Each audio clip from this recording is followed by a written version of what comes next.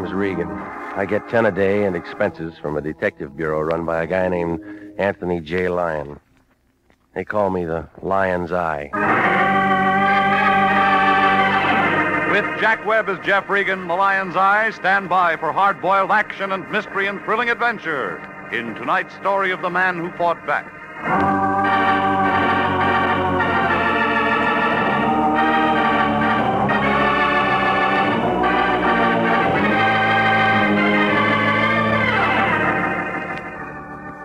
There's a street crammed in between Wilton and Van Ness in Hollywood. It's called Taft Avenue. It's a couple of blocks long, and it only got there because the city planners had a few tons of cement left over from the Coliseum. On the corner, there's a gray building poking its way up through a crack in the pavement. That's where I live. Apartment K. Two rooms with a connecting door to a broom closet. Oh, the place isn't much. A couple of chairs, and a bed that comes out of the wall, and a mattress that could pass itself off as a relief map of the high Sierras. Well, that's where I was the other night around 11, trying to catch some sleep. That's when my phone began making an impression. Turned out to be the lion. Hey, Regan, I'm glad I found you home. Are you alone? What's the matter? Did you lose your voice? Just a precaution. I got a hold of a good thing, and I don't want to lose it by indiscreet talk. Well, then write me a letter. We've just been hired. You start tonight. It'll keep till morning. Her name's Alice LaFarge. She'll meet you in a bar called the Princess across the street from Pershing Square. Get going. What's your trouble? She'll tell you all about it when you get there. Can't you tell me? I haven't got the time right now, but there's nothing to it. I'd handle it myself if I didn't have a big deal on.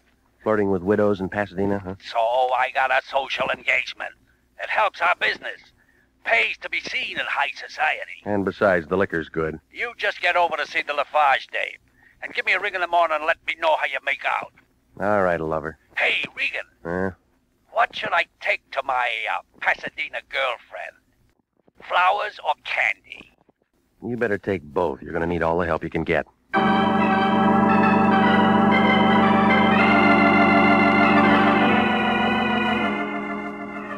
I threw on some clothes and I headed for town.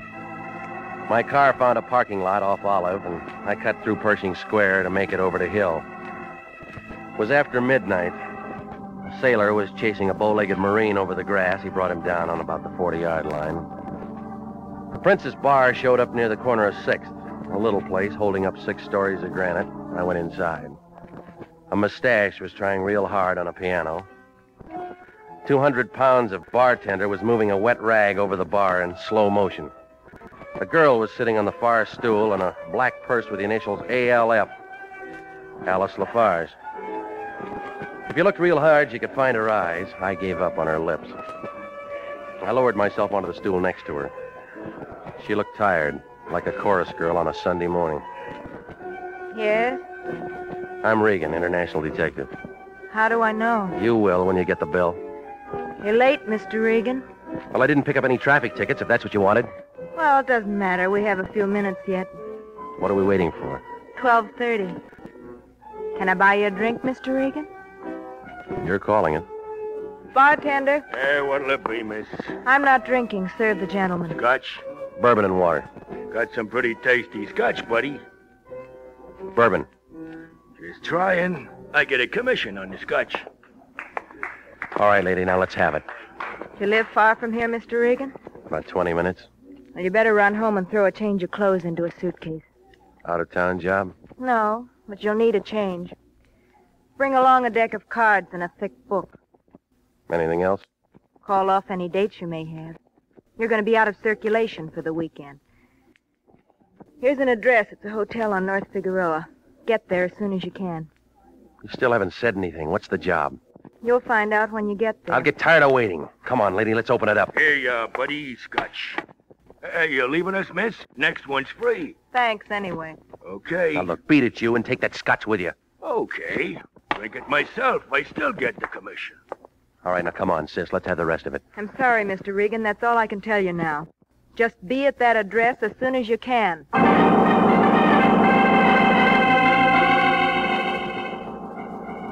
Now she slid off the stool and moved for the front door. I caught a view of her in the mirror. There was nothing there to make a guy want an encore. Sandy hair, short, thin body that you could have slipped into a mailbox. Well, she threw the door shut behind her. A couple of seconds ticked by, and I moved out after her. I made the street just in time to see her climb into a cab and start up Sixth. That's when I spotted the red Austin with an Illinois license. There was a Glen plaid sleeve sticking out of the left side, and that's all I got of the driver, except that he was doing a real bad tag job on the Lafarge girl.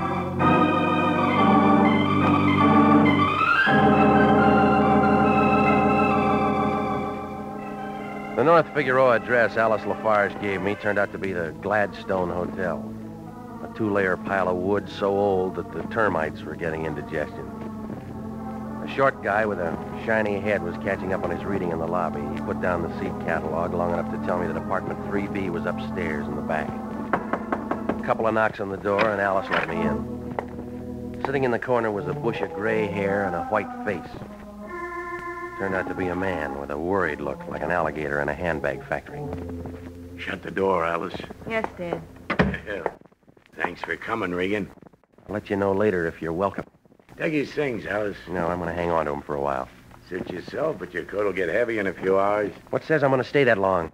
Me? That's what you're hired for. What else? Well, lots of time to get to that. Let's get to know each other first.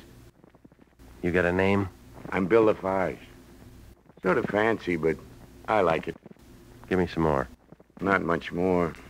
Just an old joker with nothing left but a few years and a, a regular dud. Mm-hmm. You know, Regan, this isn't my real address. I just moved here. Yeah, the rent's low. That's not it. Bill Lafarge can handle more. All right, you can skip the bank statement, mister. Will you please try to be civil, Mr. Regan? That's not what you hired me for. It's okay, Alice. Can't say I blame him. All right, then. Let's throw it in gear, huh? Not much to your job, Regan. Just spend a weekend with me. I've had better offers. yeah, I did too in my time.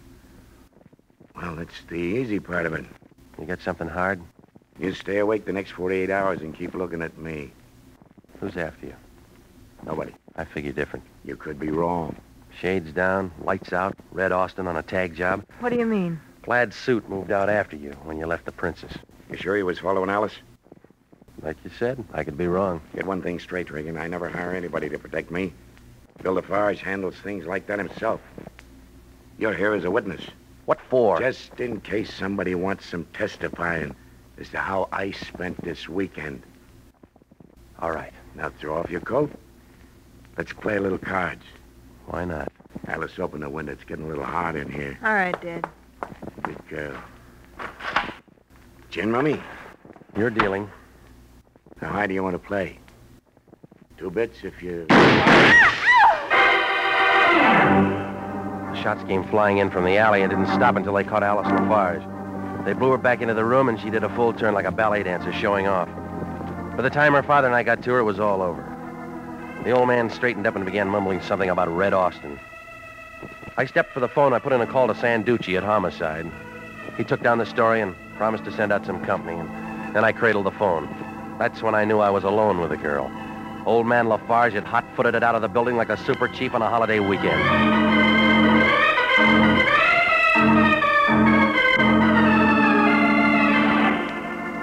Well, the boys from Homicide showed in a couple of minutes, and they had a few questions. I gave them what I had, and Sanducci tabled the rest until the next day. So I went home to relax. You know, the lion could have made a good detective. He always finds me. Regan, I'm not paying you to sit at home. Get your coat on and explain this. What? This newspaper story. There's a big lie in here about the Lafarge dame getting killed. Now, I know you wouldn't allow that to happen to one of our clients. It was real hard, but I managed. I give you a simple little job and you turn it into a murder. You getting a commission from Forest Lawn? You got your hands full, too. What do you mean? Sanducci will be visiting you with a pocket full of questions. I don't know nothing about a shooting. I was out in Pasadena all night playing a guitar, and I got a sore finger to prove it. Now, you listen to me, Big Shot. You better start sniffing around and turn up a Red Austin with a plaid suit behind the wheel. Whatever. Get some information on Bill Lafarge, the girl's father. Hey, what's that? You know, I bet if we open it, we'll find out. Well, I, I better get a move on. Uh, just open the door a little bit, and I'll squeeze by. Uh, Hello, Lieutenant. Nice to see you, Sanducci. Where's he going? Get in line for Notre Dame tickets. Why did you take up knocking, Sanducci, huh? New directive went through the department. Show a little more courtesy. You don't wear it well. And I figure it's political. They're working on building up a gate for the next policeman's show. Gotta put you on. You're worth a couple of laughs. Yeah, yeah, I'll speak to the boys. How did you sleep last night, Regan? Fine. You shouldn't have. The murder should have given you nightmares. There's always Ovaltine. You know, some of the boys down at headquarters figure you know more about this shooting than you're saying. Well, they made mistakes before. Now, I'm not saying I feel like they do. What do you want? Who knocked off the Lafarge girl? You're asking yourself. Wrong answer. How would you know? She got it with a 45. What do you want? You know what I own. But I don't know about Lafarge. The shots came in through the window. Even you can figure that. He could have had help. Talk to him. I will when we pick him up. In the meantime, it's you and me. You got nothing on me. We found a roll of dough in a briefcase in the bottom bureau drawer. What was it doing there? I don't know. All right, Regan. Now let me give you a tip. The word's out Lafarge got a private war on. I don't want any more shooting, so I look at it this way. He's your client. I'm holding you responsible. And Regan, Yeah? cada volta mangiare le sorge tutto tu paese, che sei un brisagliere stupido. What's that mean? Go find out. You're a detective.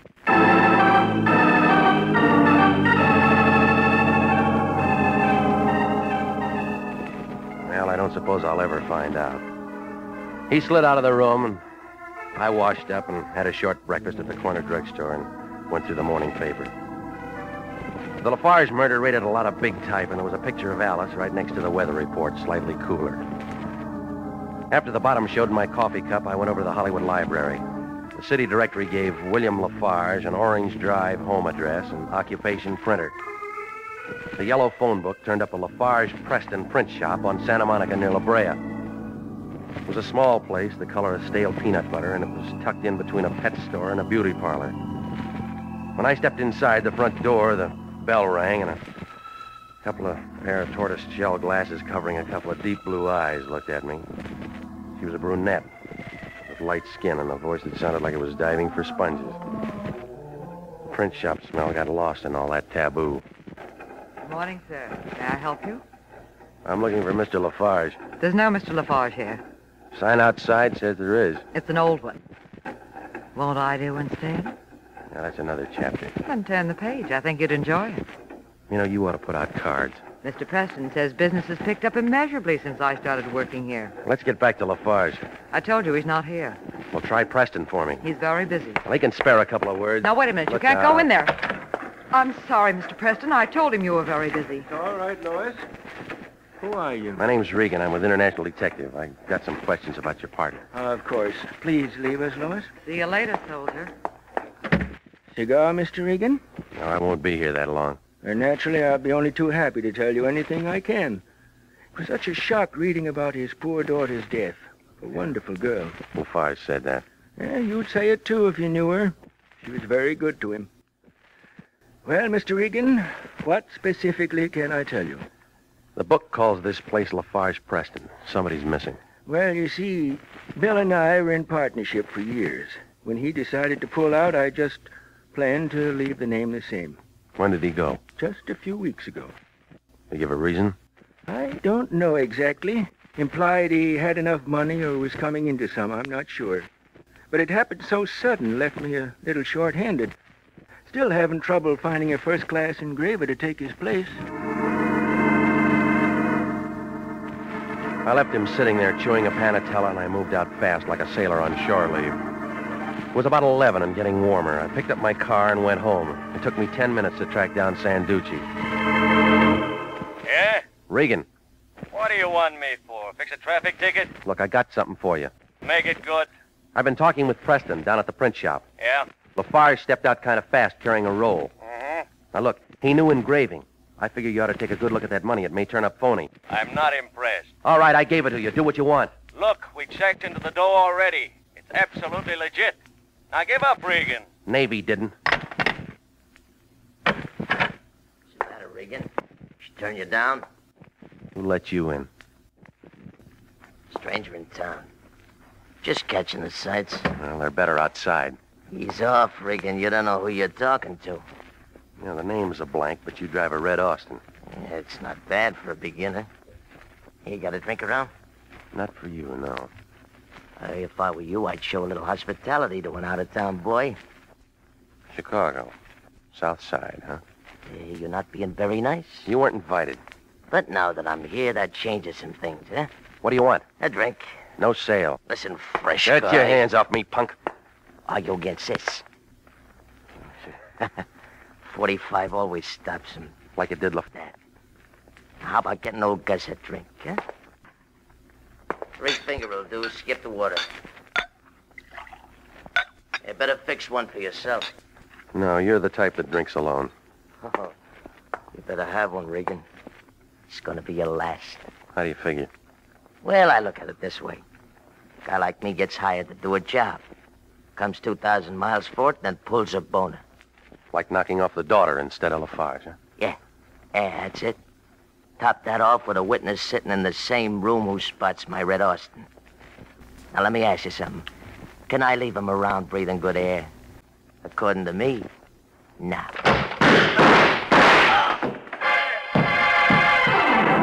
Gus's knees knocked together and he caved in like arches on a fat man. Four quick steps took me to the door and I looked down the hall.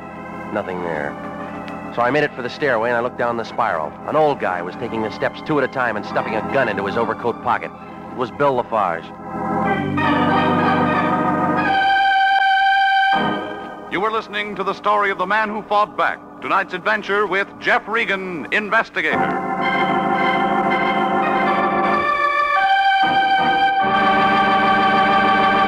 Commissions are still available in the Army Nurse Corps. Graduate registered nurses between the ages of 21 and 45 may qualify for service with this fine organization. Nurses may request active or inactive status. Those on active status enjoy the same privileges as regular Army officers. Those on inactive status may continue their civilian nursing duties, but stand ready to serve in time of emergency. If you are interested in joining the Army Nurse Corps and believe that you qualify for a commission, apply to the Adjutant General, Washington, D.C. And now, back to the story of the man who fought back and Jeff Regan, investigator.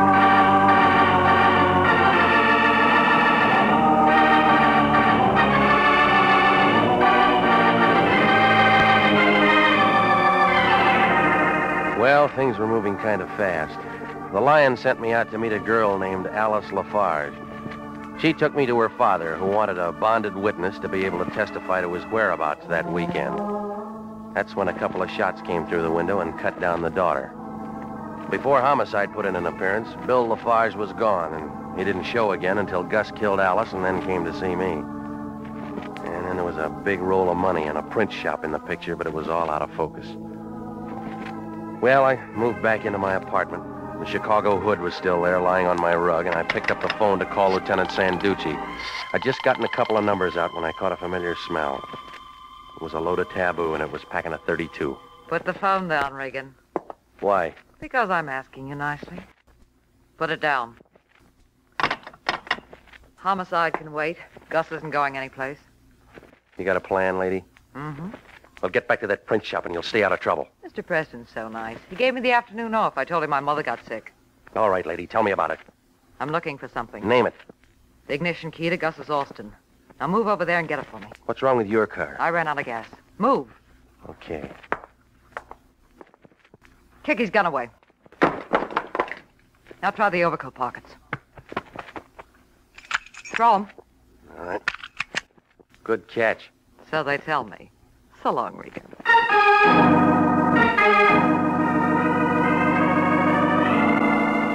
I put in a quick call to homicide, and then I waited a couple of minutes to give her a chance to get a head start. When I stepped out of the building, the Red Austin was just turning the corner. I followed in my car. We wound up in Glendale.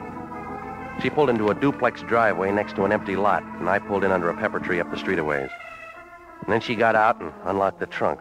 She looked inside, ripped up the floor matting and then the boards. When she slammed the trunk shut, it figured that she didn't find what she was looking for.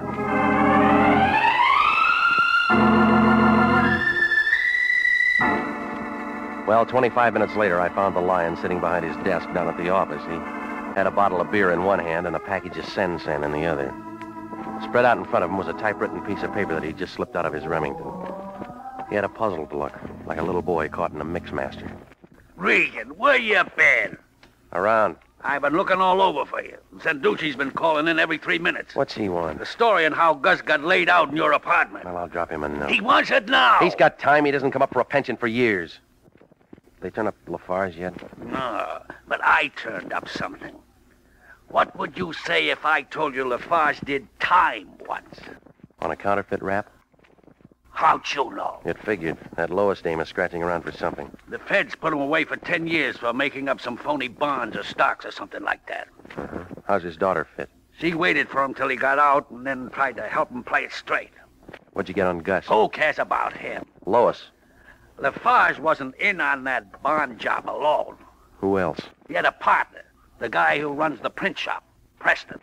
Oh, you're doing better. I figure it this way. Preston's got a new racket, and J. Edgar would be real happy to know all about it. Yeah. We're gonna be the ones to tell him. How much is the reward? I don't even know if there is one. Oh, stop it. When gold went up to $35 an ounce, you pulled your mother's teeth. Regan, you're getting out of line. And then you bawled her out for not having more cavities. Now, you get over to Preston and have a talk with him. Yeah. Uh, Regan. Yeah.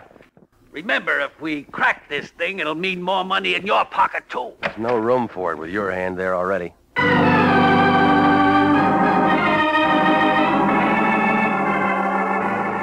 Left him sitting there doodling dollar signs, and I went out into the street. It was turning evening.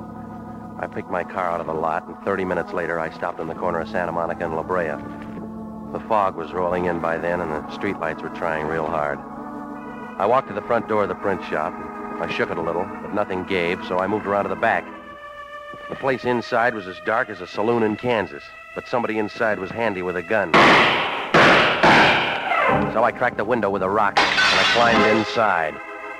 It smelled like target practice on a rifle range. Preston was curled up on the floor like a piece of wet tissue paper, and there were two holes in him.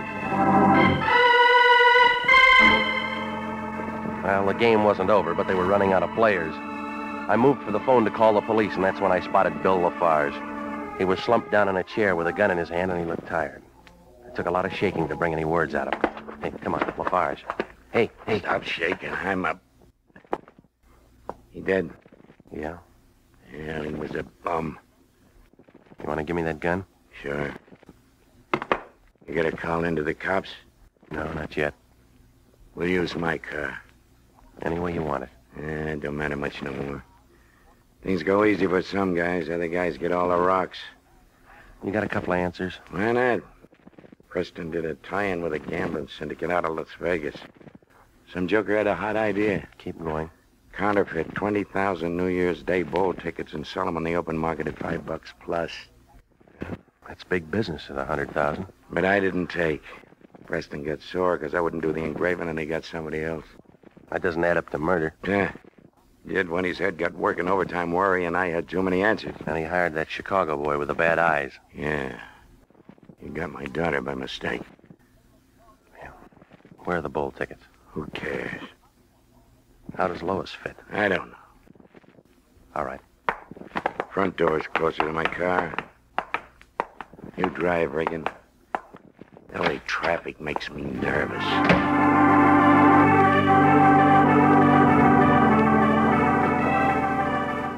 Well, Lafarge was driving a Nash, and it was parked at a filling station. We fought the night traffic downtown to police headquarters and tore Sanducci away from his pinochle game. He sent a couple of boys out to clean up the print shop and then moved Lafarge into a room with a secretary to get the story on paper. I'd heard it before, so I started for home, but Sanducci had other ideas. He put me in a private little room with white walls, and he told me to wait. I thought maybe he'd gone on his vacation, but he finally came in. Yeah, getting tired of waiting, Regan? Do you care? No, You got something to say? maybe. Well, then spit it out, because I got a date. It'll keep. Why are you holding me? I had to do some checking. You got all you need? I didn't think so. Well, you got it now. Sit still, Regan. I'm not ready to let you go. Now, listen, Power. Just because you're wearing a badge inside that coat... Shut up and listen to me. It Took me 18 years to turn in those overstuffed shoes for thin soles. I'm not letting a two-bit detective tell me how to handle my business. You could stand it. You and that crummy boss of yours are licensed by the state of California, and we can lift it for acts detrimental to public welfare. We got a whole blotter full. Tell that to the lion. I'm telling it to you. And that's all. Beat it. Okay. Oh, Regan, Yeah. one thing more. There's a big hole in Lafarge's story. What do you mean? Look at his gun. Now, what about it? Look at the caliber. It's a 38. That's not the weapon that killed Gus and Preston. You sure you don't own a 32?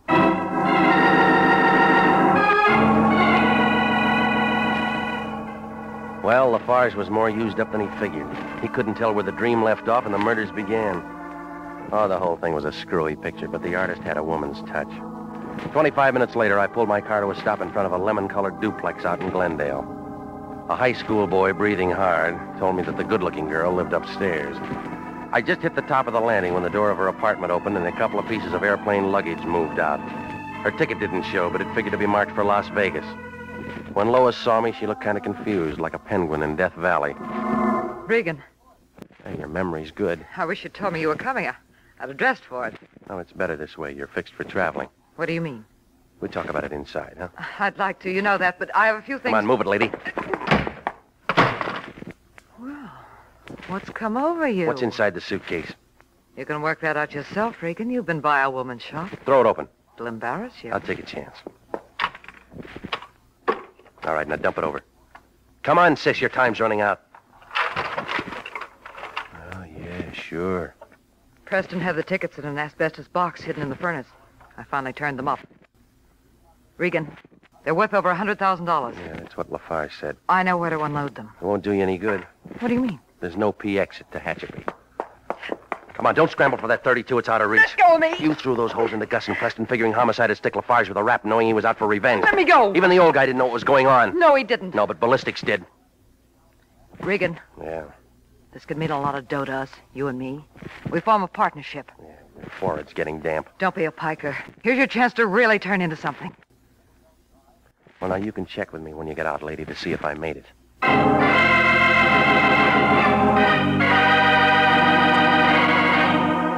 Well, it all blew apart fast like an atom at Caltech. Sanducci came down and picked up Lois. She had herself a pretty good thing for a while. Preston could run off the phony bowl tickets, and all she had to do was to sell them. Even though murder got thrown in, she could have stayed clean if she hadn't got her gun calibers mixed.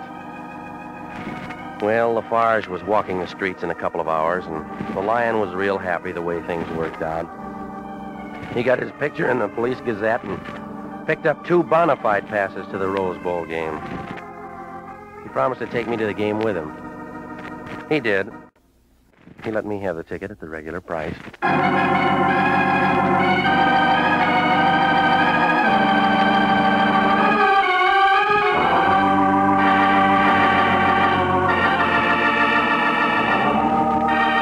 Jack Webb is featured as Jeff Regan with Herb Butterfield as Anthony J. Lyon. It's CBS at the same time next week for more hard-boiled action and mystery with Jeff Regan, Investigator. Written by Larry Roman, produced by Sterling Tracy. Alice was played by Lorette Philbrandt. Charles Seel was Preston. Ken Christy was Lafarge. Jack Petruzzi was Sanducci. Yvonne Peattie was Lois. And Sidney Miller was Gus. 29,000 nurses are needed now to join the new Army Nurse Corps Officers Reserve. For the first time in history, qualified nurses have the opportunity of receiving commissions in the regular Army Reserve. These nurses will remain on inactive status, ready to serve their country in time of emergency. 4,000 of them, if they wish, may choose active duty. All nurses who receive commissions will benefit from the opportunity for specialized training offered to them by the Army. Inactive reserve status will not interfere with the nurse's civilian life, but the educational opportunities offered her by the Army Medical Department will be of great advantage in her work. So don't wait. If you're a registered graduate nurse between the ages of 21 and 45, drop a card for complete information to the Adjutant General, Washington, D.C.